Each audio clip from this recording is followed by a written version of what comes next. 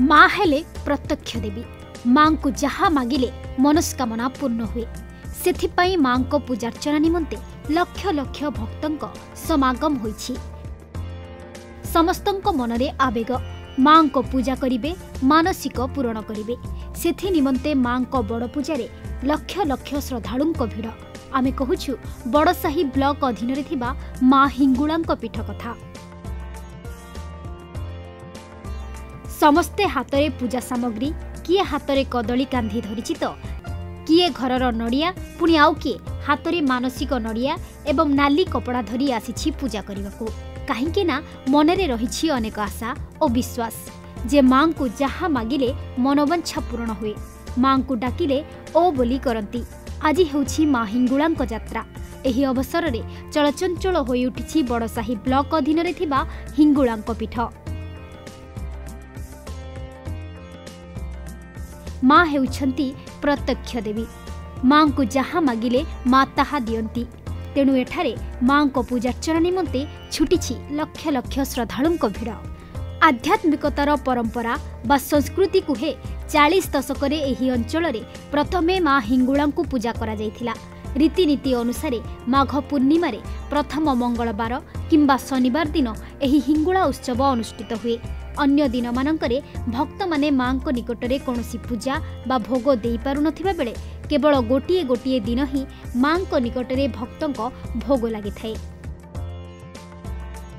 ଯାହାକି ଏହି ଅବସରରେ ମନ୍ଦିର ପରିସରରେ ଏକ ବିରାଟ ଯଜ୍ଞ କୁଣ୍ଡରେ ମାଙ୍କ ଉଦ୍ଦେଶ୍ୟରେ ଆସୁଥିବା ଭୋଗ ଏବଂ ପ୍ରସାଦ ସବୁ ପୋଡ଼ାଯାଇଥାଏ ଯାହାର ଭସ୍ମକୁ ମାଙ୍କ ପୂଜାରେ ମାଙ୍କର ଅଙ୍ଗ ପ୍ରତ୍ୟଙ୍ଗରେ ଲଗାଯାଇଥାଏ। ତେଣୁ ଏହି ଅବସରରେ ମାଙ୍କୁ ପୂଜା କଲେ ମା ସବୁ ଶୁଣନ୍ତି। ଏବଂ ଏହି ଗୋଟିଏ ଦିନ ମାଙ୍କୁ ପୂଜା କଲେ ସୁଫଳ ମିଳିଥାଏ ଯାହାକୁ ନେଇ ବଡ଼ସାହି ସ୍ଥିତ ଏହି ହିଙ୍ଗୁଳା ଯାତ୍ରାରେ ଲକ୍ଷାଧିକ ଭକ୍ତଙ୍କ ସମାଗମ ହୋଇଥିବା ବେଳେ ମାଙ୍କୁ ଦର୍ଶନ କରିବା ସହିତ ଆଶିଷ କାମନା କରିଛନ୍ତି ବହୁ ଶ୍ରଦ୍ଧାଳୁ। ଏଭଳି ଅବସ୍ଥାରେ ଜନସମାଗମକୁ ଆଖି ଆଗରେ ରଖି ବ୍ୟାପକ ପୋଲିସ ମୁତୟନ କରାଯାଇଛି। ଏପରିକି ଏହି ଅବସରରେ ମେଳାର ଆୟୋଜନ ହୋଇଥିବା ବେଳେ ମେଳାରେ ବହୁ ଦୋକାନର ପସରା ମେଲାଇଛନ୍ତି ଏହି ମେଳାରେ ଜିଲ୍ଲା ତଥା ରାଜ୍ୟର ବିଭିନ୍ନ ଜିଲ୍ଲାରୁ ଶ୍ରଦ୍ଧାଳୁମାନେ ଆସି ଯୋଗଦାନ କରିଥାନ୍ତି।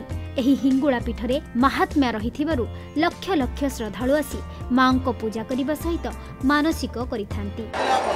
ବାରିପଦାରୁ। ମୁଁ ବହୁତ ଖୁସି ଅଛି। ମାଙ୍କର ମହିମା କହିଲେ ସରିବନି। ଆମେ ଶୁଣିଛୁ ମାଙ୍କ ପାଖରେ ମାନସିକ କଲେ ସବୁ ମାନସିକ ପୂରଣ ହୁଏ ଆଉ ମୁଁ ତ ଅ, ମାନେ ଭାବିନଥିଲି ମୁଁ ଆସିବି ବୋଲି ହଠାତ୍ ଏମିତି କ'ଣ ହେଲା? ରାତିରେ ଇଏ କହିଲେ ମେ- ମେଳା ଯିବା? ମୁଁ କହିଲି କେମିତି କ'ଣ କରିବା? ହଁ ଯିବା। ଆମେ ସାଙ୍ଗେ ସାଙ୍ଗେ ବାହାରିକି ଚାଲି ଆସିଲୁ। ମୁଁ ଏଇଠୁ ଜାଣିଲି ମାଙ୍କର ଯେଉଁ ମାନେ ତାଙ୍କର ଆଶୀର୍ବାଦ ଆଉ ତାଙ୍କର ଯେଉଁ ମାନେ ଶକ୍ତି ମୋତେ ଟାଣି ଆଣିଛି। ଆମ ପରିବାରଙ୍କୁ ମଧ୍ୟ ଟାଣି ଆଣିଛି। ଆଉ ମାଙ୍କର ଏଇ ଯେଉଁ ପରିବେଶ ଦେଖିଲା ବେଳକୁ ମୁଁ ପୁରା ଆଶ୍ଚର୍ଯ୍ୟାନ୍ୱିତ ହେଇଯାଉଛି। ଏ ଭଳିଆ ମାନେ ଯେଉଁ ଜନବହୁଳ କହିଲେ ମାନେ ଆଖି ପୁରା ଚକିତ ହେଉଛି। ପୁଣି ସମସ୍ତଙ୍କ କାନ୍ଧରେ କଦଳୀ କାନ୍ଧି ବିଭିନ୍ନ ପ୍ରକାର କ'ଣ କ'ଣ ସବୁ ରହିଛି ତାର ପ୍ରଥା ସେଗୁଡ଼ାକ ନେବାର ଲୋକମାନଙ୍କର ମାନେ ଚାଲୁଛନ୍ତି। ଛୋଟରୁ ବଡ଼ ପର୍ଯ୍ୟନ୍ତ ବୁଢ଼ାବୁଢ଼ୀ ପର୍ଯ୍ୟନ୍ତ ସେ ମାଙ୍କ ପାଖକୁ ଛୁଟି ଆସିଛନ୍ତି। କେବଳ ମାଙ୍କର ଆଶୀର୍ବାଦ ପାଇଁ ଆଉ ମାଙ୍କୁ କିଛି ଜଣାଇବେ ଦୁଃଖ ଅନ୍ତରର ଦୁଃଖ ଯାହାକି ମା ଶୁଣିପାରିବେ।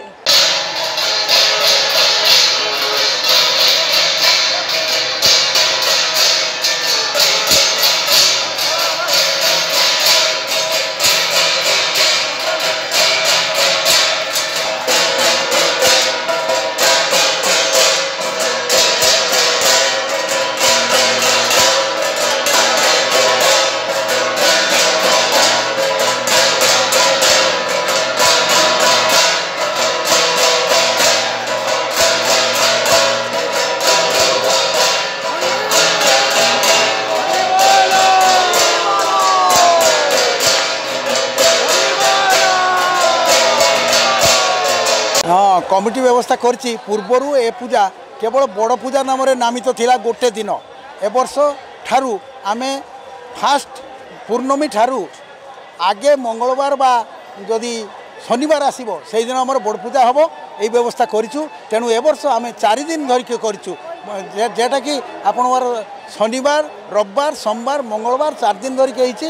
ଶୃଙ୍ଖଳା ରକ୍ଷା ପାଇଁ ଆମ ଟ୍ରଷ୍ଟର ପଚାଶ ଷାଠିଏ ଜଣ ସଦସ୍ୟ ସମସ୍ତେ ଅହରହ ପରିଶ୍ରମ କରୁଛନ୍ତି।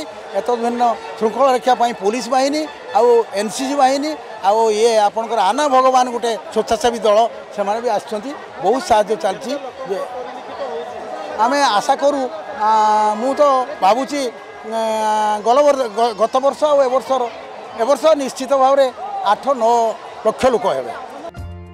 ମାନସିକ ପୂରଣ ହେଲେ କଦଳୀ କାନ୍ଧି କିମ୍ବା ଘରର ନଡ଼ା ଆଣି ଯଜ୍ଞକୁଣ୍ଡରେ ପକାଇଥାନ୍ତି। କିଏ ମାଙ୍କ କଥା ଜାଣି ପ୍ରଥମ ଥର ପାଇଁ ଦର୍ଶନ କରିବାକୁ ଆସିଛି ତ? ଆଉ କିଏ ମାନସିକ ପୂରଣ ହୋଇଥିବାରୁ ପୁଣି ଆସିଛି ମାଙ୍କୁ ଦର୍ଶନ କରିବା ନିମନ୍ତେ। ମୟୂରଭଞ୍ଜରୁ ଖାସିରାମ ବେହେରାଙ୍କ ରିପୋର୍ଟ ଓଏନ୍ଏ